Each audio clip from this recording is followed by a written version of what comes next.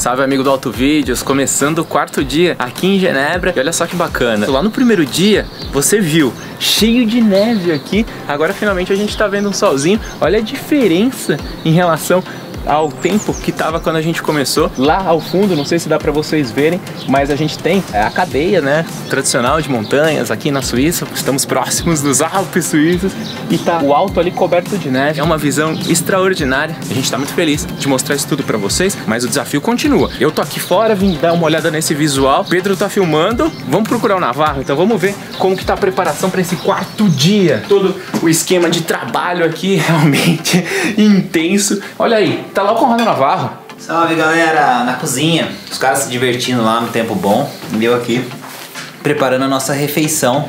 É assim que a gente almoça, é assim que a gente toma café à tarde, é assim que a gente janta no salão.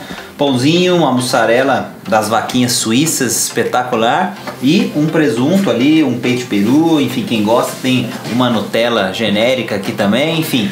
É, show de bola pra gente poder aguentar o dia e claro, com alegria para levar todo o conteúdo que você está acompanhando aí. Então agora vamos pegar aqui ó, o nosso complemento, a mão tá limpinha, põe aqui no pão, fechamos o pãozinho e temos a nossa refeição para a gente passar o dia no salão. É isso aí, valeu! Vamos para mais um dia com força, né, Pedrão? Com certeza, por sinal, eu tô indo ali trabalhar porque tem bastante coisa para fazer. Nessa altura você está se perguntando, mas o mesmo casaco nos quatro dias? Sim, o mesmo casaco nos quatro dias não sou só eu, não. Pedrão e o Liam também. A gente traz aquele que a gente tem pro frio que tem aqui. Olha aí na E olhe lá. Temos umas concessionárias aqui, olha aí, tem alguns preços ali nos para-brisa. Qual os preços? Usado, olha lá, 20 mil. Multiplica por uns francos 3,5 mais ou menos. Isso, um pouquinho mais talvez. É, tá vendo lá no fundo a gente tem as montanhas ainda cheias de neve lá em cima, mas já bem menos do que quando a gente chegou. E a neve da cidade praticamente desapareceu e a gente tem um céu azul muito bonito hoje, pela primeira vez Por desde isso que a eu gente tô chegou. sem casaco. No carro, pelo menos. É, no carro ele tá sem casaco, mas ele vai fazer gracinha lá fora e aí depois a gente vai filmar pra vocês o que, que aconteceu. Quarto dia, vamos pra cima. Vai ter muita coisa bacana e eu acho que vai ter algumas surpresas legais também.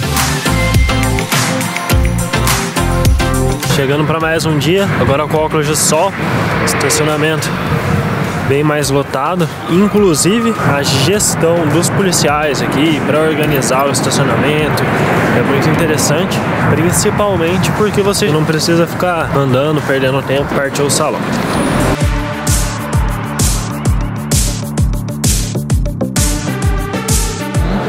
Isso aí. Hora do pit stop. A gente no gás extremo aqui pra mostrar tudo no salão de Genebra, mas também precisa recarregar as baterias, não, é não Pedrão? Pedrão não pode falar agora.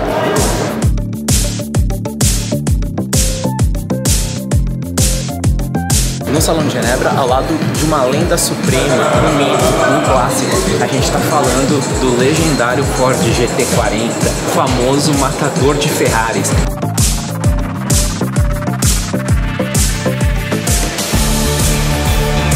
Hoje é o primeiro dia de meio de imprensa e também é do público. Então aqui, ontem a gente tinha quatro Civic Type R e agora, como vocês podem ver, tudo mudou. Esse aqui, o VTEC normal, Civic Type R, ali o CTR e dois outros Civics. E esses dois, por sinal, estavam lá em cima e agora não estão mais. Por que eles mudam? Não sei. Eu acredito que por questão de ser jornalista somente aqui, não ter só convidado, algum problema em relação a estragar o carro, não sei. Essa picape aqui vai chegar no Brasil e em Conrado vão estar fazendo a cobertura já já. A gente vai colocar na descrição do vídeo. Vamos ver aí como que é a preparação para live. Isso é uma coisa que a gente nunca descobriu, que a gente vai ver agora. Essa é a nova, assim, nova e inédita picape média da Renault, que vai chegar ao Brasil. Confira de perto como é a Alaska. E agora, depois disso, o que que acontece? A gente se prepara aqui, ajeita o sinal, tem que ter internet, né, para fazer as lives, e a gente se prepara e mete bala. É, a gente se prepara e mete bala. Ó, então, agacha, levanta. você vem com a gente. É tudo um ritmo intenso, é desafio, auto vídeos, abre a câmera e você vem junto. Você sabe como é, é com emoção, Ó, sempre. é isso aqui, ó. Olha que legal. Ele vai estabilizar o celular e a gente vai falando, o microfone tá aqui no próprio celular, enfim, você junto, junto, junto, pertinho do carro com a gente. A gente coloca o texto e fica só esperando o momento certo para apertar o botão vermelho aqui. Aí começa a emoção que você acompanha no nosso Facebook. A vítima da vez, Renault Alaska. E como nem tudo é perfeito nessa vida, o celular deu problema no Facebook. A cara de satisfação do Conrado Navarro. Nesse momento, tio Jobs e tio Zuck, eles deram uma rasteira no autovídeos. Mas como não é nada pessoal, A gente cai e levanta. levanta, a gente reinicia e a gente já já tá dentro. É nóis. Enquanto as coisas não começam a rolar por aqui com a Alaska, vamos fazer um 360, mostrar alguma coisa.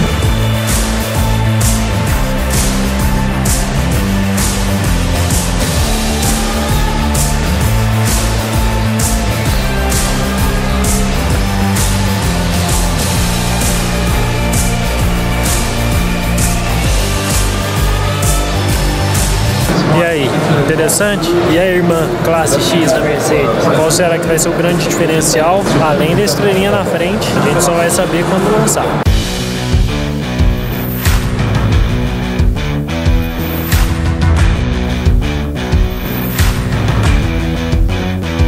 Enquanto eu procuro a matéria com Conrado Navarro, pode ter saído da Palvi, uma empresa que produz um carro voador. Não é um helicóptero, é um girocóptero, um carro que possui a ideia de transportar você no dia a dia para o seu serviço e aos finais de semana você voar para onde quiser no que eles chamam de City to City, que é a viagem de uma cidade para outra pelos ares. Seria uma ótima ideia chegar na sua garagem barra hangar, pegar o seu carro, transformá-lo num helicóptero, sair voando por aí, até porque ele tem um alcance de 400 quilômetros. Mas o que é um girocóptero? Um girocóptero funciona diferente de um helicóptero. Pelo que eles me explicaram, logicamente, o helicóptero funciona com um motor que direciona para as hélices e a hélice com esse motor faz a sustentação e dá a movimentação. O girocóptero possui hélice é, independente para você estar voando, ou seja, a sustentação dela é pela inércia, por estar voando em movimento, ela já vai funcionar, então dá estabilidade. E hélices traseiras são responsáveis por empurrar você para frente para onde você quiser ir, por direcionar. O preço parte de 300 mil para a versão mais simples e 500 mil euros para a versão mais completa, que por sinal Acredite se quiser, tem um brasileiro, conhecido como o brasileiro mais rico, interessado no projeto. Agora dá aquele Google, tá, tá, tá, tá, descubra quem é. Talvez cansado do trânsito de São Paulo. Fato interessante é que você pode abastecer com gasolina comum do posto. Você sai voando, acabou o combustível. Você olha um posto aí, pousa, abastece, sai voando de novo. A velocidade máxima é estimada em 180 km por hora. É nóis, valeu.